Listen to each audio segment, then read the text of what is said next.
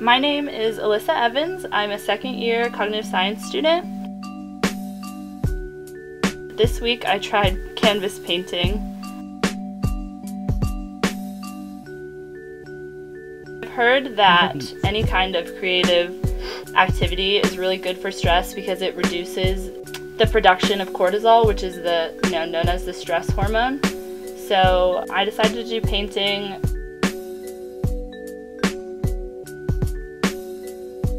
Painting is something I've done in the past. It's something I like to do, kind of a hobby.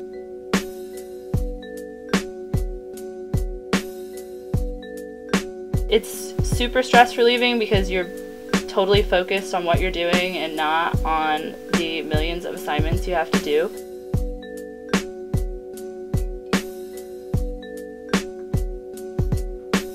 While I paint, it can be a little tricky to make time for it just because it's hard to drop studies and school stuff and do it, but once you actually do it, I do genuinely feel like it works and it makes me feel a lot calmer.